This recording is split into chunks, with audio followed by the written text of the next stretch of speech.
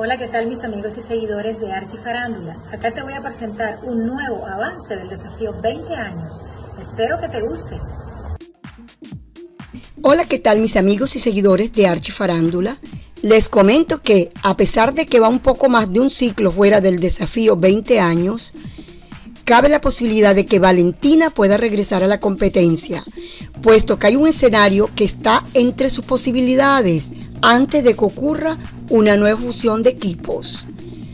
Una de las primeras señales que dieron los desafiantes sobre si esto podía pasar la brindó Joyfer, quien tuvo un pensamiento que le compartió a Darling y a Arandú, mientras que estaban descansando en beta antes de la última prueba de sentencia y servicios con tres equipos. El sueño que tuve con Vale fue que una participante mujer había sufrido un accidente y al ser ella la última eliminada, entraba el reemplazo de esa persona y que ahí se daba la capitanía.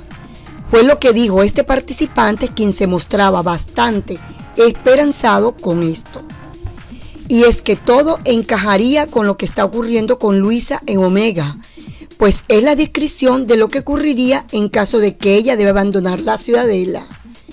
Aunque Joyfer destaca que no considera que sea tan grave. Continuando con su sueño, el participante sumó, ese equipo al que ella había llegado bajo bandera y así ella volvía a beta. Ante esto, el deportista recalcó que no le gusta contar esto cuando es bueno, para que se cumpla.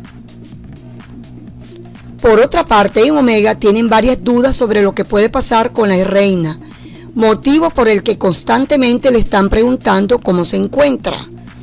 Esto causó que ella tuviese una charla con Alejo, a quien le aceptó que no se quiere ir, mas sin embargo, aún no posee la fuerza para levantar su brazo pero no paró de estar convencida de que no abandonará el juego por esto. Cabe resaltar que Luisa terminó en el piso por culpa de Caroline, quien estaba decidida a quitarle el balón de las manos en el borrojo, con quien forcejeó para quedarse con la pelota. Sin embargo, la integrante del equipo rosado usó su propio peso para lograr que la bola se quedara atrapada entre el suelo y su vientre.